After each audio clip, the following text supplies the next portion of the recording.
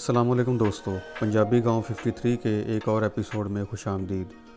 दोस्तों, जैसा कि आप जानते हैं कि पाकिस्तान के सूबा पंजाब के ज़िला फैसलाबाद की तहसील जड़ावाला के करीब वाक़ गाँव की सैर का सिलसिला जारी है और आज की ये वीडियो भी इसी सिलसिले का एक हिस्सा है।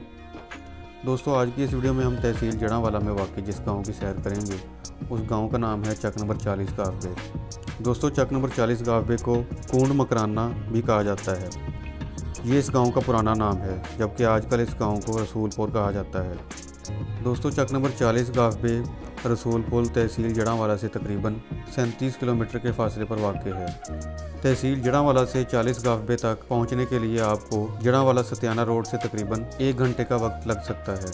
चक नंबर 40 गाफबे के अरीब करीब वाक़ गाँव में चक नंबर 36 गाफबे चक नंबर सैंतीस गाफबे चक नंबर 35 गाफबे चक नंबर 232 गाफबे और चक नंबर उन्नवे गाहबे वगैरह शामिल हैं।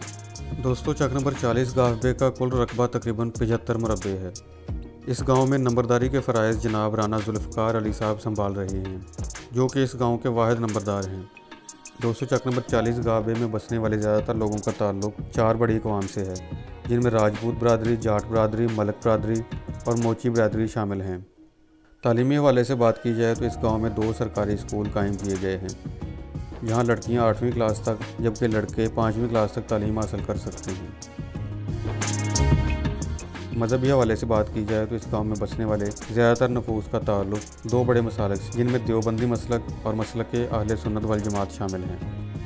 इस गाँव में मसाजिद की कुल तादाद छः है, जहाँ लोग मजहबी अकीदत से अपनी इबादत और दीगर मजहबी रसूमात अदा करते हैं।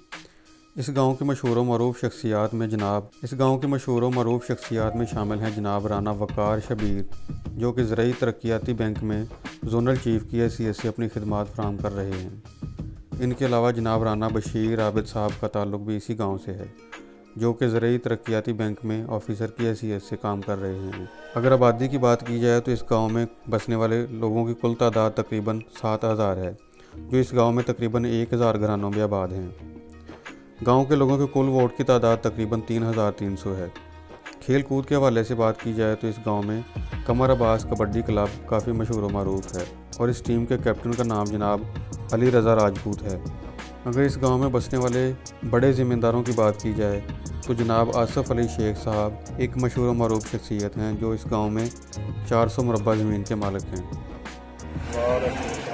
अपना किना जी। ਰਾਣਾ ਜੀ ਸ਼ਾਤਾ ਤੇ ਆਪਣਾ ਇਸ ਵੇਲੇ ਇਸ ਵੇਲੇ ਕਿਹੜੇ ਪਿੰਡ 'ਚ ਖੜੇ ਜੀ? ਚੱਕ ਨੰਬਰ 40 ਦਾ ਰਸੂਲਪੁਰ। ਰਸੂਲਪੁਰ ਜੀ। ਠੀਕ ਹੈ ਜੀ। ਤੇ ਆਪਣੇ ਪਿੰਡ ਦੇ ਕੀ ਮਸਾਇਲ ਆ ਜਿਹੜੇ ਤੁਸੀਂ ਦੱਸਣਾ ਚਾਹੁੰਦੇ ਆ? ਗਵਰਨਮੈਂਟ ਨੂੰ ਕਿ ਉਹ ਹੱਲ ਹੋਣੇ ਚਾਹੀਦੇ ਆ? ਆਪਣੇ ਪਿੰਡ ਦੇ ਮਸਾਇਲ ਇਹ ਹੈ ਨਾ ਜੀ ਬੱਚਿਆਂ ਦਾ ਮਿਡਲ ਸਕੂਲ ਹੈਗਾ ਜੀ। ਉਹਨੂੰ ਹਾਈ ਕੀਤਾ ਜਾਵੇ ਤਾਂ ਕਿ ਮਤਲਬ ਪਿੰਡ ਦੀਆਂ ਬੱਚੀਆਂ ਜਿਹੜੀਆਂ ਉਹ ਪਿੰਡ ਦੇ ਵਿੱਚ ਹੀ ਤਾਲੀਮ ਹਾਸਲ ਕਰਨ। ਜੀ।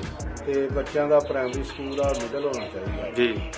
ਬਾਕੀ ਜਿਹੜੇ ਕੋਈ ਇਲੈਕਸ਼ਨ ਵਾਲੇ ਲੋਕ ਨੇ ਐਮਪੀ ਐਮਐਨਏ ਵਗੈਰਾ ਜੀ। ਉਹ ਵੋਟਾਂ ਤੇ ਲੈ ਜਾਂਦੇ। ਜੀ। ਲੇਕਿਨ ਉਹਦੇ ਮੁਤਬਾਦਲ ਸਾਨੂੰ ਕੁਝ ਨਹੀਂ। ਸਹੀ ਬਸ ਗੱਲਾਂ ਬਾਤਾਂ ਹੀ ਸੁਣਾਉਂਦੇ ਹੈਗੇ। ਤੇ ਸੂਈ ਗੈਸ ਦੀ ਕੀ ਸੂਰਤ ਹਾਲ ਹੈ ਜੀ? ਸੂਈ ਗੈਸ ਦੇ ਕੁਝ ਪੈਪ ਪਏ ਆ ਸਾਡੇ ਇੱਥੇ ਪਿੰਡ ਚੱਕ ਦੇ ਵਿੱਚ। ਮੀਟਰ ਲੱਗੇ ਆ ਜੀ? ਤੇ ਨਹੀਂ ਕੋਈ ਨਹੀਂ ਮੀਟਰ ਲੱਗੇ ਨਹੀਂ। ਇਹ ਮੁਕੰਮਲ ਸੂਈ ਗੈਸ ਦੇ ਪੈਪ ਨਹੀਂ ਹੈਗੇ। ਉਹ। ਇਹਨਾਂ ਨੇ ਗਲੀਆਂ 'ਚ ਵਿਛਾਏ ਹੈਗੇ। ਸਹੀ। ਤੇ ਉਸ ਤੋਂ ਬਾਅਦ ਇਹਨਾਂ ਨੇ ਕੋਈ ਇੱਧਰ ਦੇਖਿਆ ਨਹੀਂ ਹੈਗਾ ਸਾਡੇ। ਕਿੰਨਾ ਅਰਸਾ ਹੋ ਗਿਆ ਜੀ ਇਹ ਪੈਪ ਵਿਛਾਇਆ ਨੂੰ ਪਿੰਡ 'ਚ? ਇਹਨਾਂ ਨੂੰ ਜੀ ਇੱਕ ਸਾਲ ਤੋਂ ਉੱਤੇ ਹੋ ਗਏ। ਸਹੀ ਉਸ ਤੋਂ ਇਲਾਵਾ ਕੋਈ ਮਸਾਇਲ ਹੈਗੇ ਤੁਹਾਡੇ ਲਈ? ਉਸ ਤੋਂ ਇਲਾਵਾ ਮਸਾਇਲ ਇਹ ਹੀ ਹੁੰਦੇ ਆ ਵੀ ਮਤਲਬ ਜਿਹੜੇ ਆ ਸਕੂਲਾਂ ਵਗੈਰਾ ਦੇ ਜਾਂ ਹਸਪੀਟਲ ਸਾਡੇ ਆ ਚੱਕ ਦੇ ਲਾਗੇ ਬਣਿਆ ਉਹਨਾਂ ਨੂੰ ਦਵਾਈ ਦਿੱਤੀ ਜਾਵੇ ਪ੍ਰੋਪਰ ਅੱਛਾ। ਤਾਂ ਕਿ ਸਾਡੇ ਇੱਥੇ ਸਹੂਲਤ ਮੌਜੂਦ ਹੋਵੇ।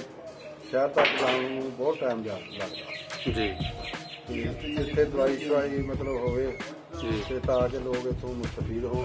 ਤੁਹਾਡਾ ਵੀ ਲੈ ਲਿਆ ਇੰਟਰਵਿਊ ਕੋਈ ਇਨਪੁਟ ਲੈ ਲਿਆ ਅੱਜ ਤੁਸੀਂ ਵੀ ਆਪਣਾ ਨਾਮ ਦੱਸ ਦਿਓ ਜੀ ਕਿਹੜੇ ਪਿੰਡ 'ਚੋਂ ਜੀ?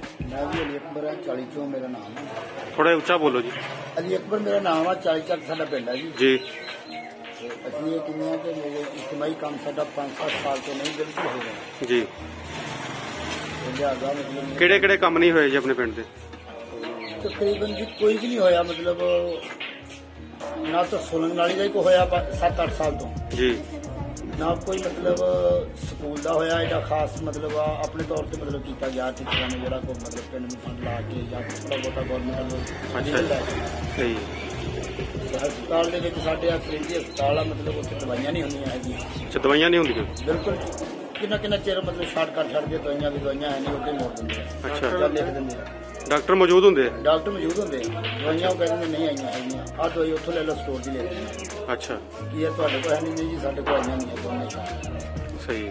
ਫਿਰ ਉਸ ਤੋਂ ਬਾਅਦ ਆਹ ਬਿਜਲੀ ਦੇ ਖੰਭੇ ਬਹੁਤ ਨੀਵੇਂ ਹੋਏ ਆ ਘਰਾਂ ਦੇ। ਅੱਛਾ। ਇਹਨਾਂ ਦਾ ਮਤਲਬ ਬੜਾ ਮਸਲਾ ਵਾ ਇਹ ਸਾਰੇ ਟੋਟਲੀ ਇਸ ਤਰ੍ਹਾਂ ਵਾ ਛੱਤਾਂ ਤੇ ਤਾਰਾਂ ਪਈਆਂ। ਅੱਛਾ ਜੀ। ਇਹ ਵੀ ਠੀਕ ਕੀਤਾ ਜਾਵੇ ਜੇ ਕਿਸੇ ਨੂੰ ਅੱਲਾ ਮੀਆਂ ਤਫੀਕ ਦੇਵੇ ਜੀ।